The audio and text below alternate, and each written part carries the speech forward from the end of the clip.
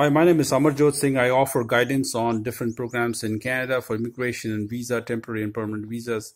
I was asked a question about express entry, especially for software engineers, where they are not working for continuously for 12 months at a row and they have been fired, they have been laid off, and then they resume the work. So, are they eligible?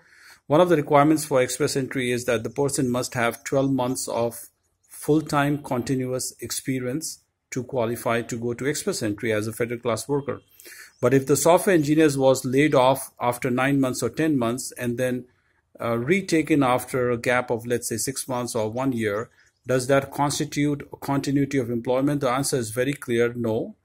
So if you do not have the work experience for at least 12 months in a row continuously, then you are not eligible.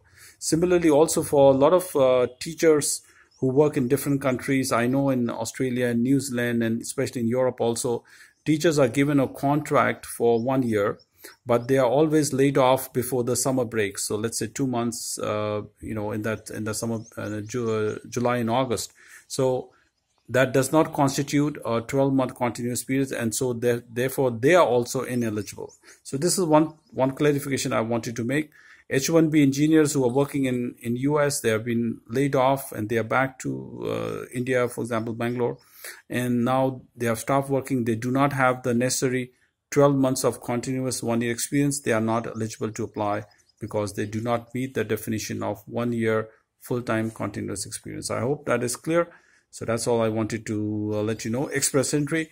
Uh, it's it's uh, it's very clear. It's a point based, but you know you have to meet certain definitions. So I'm also in uh, Delhi now. If somebody wants to meet regarding express entry or some other questions about something in immigration law, uh, they're welcome to call me, and then you know I can, uh, you know, so I can try to solve your problems. All right. Thank you very much for your time. Bye bye.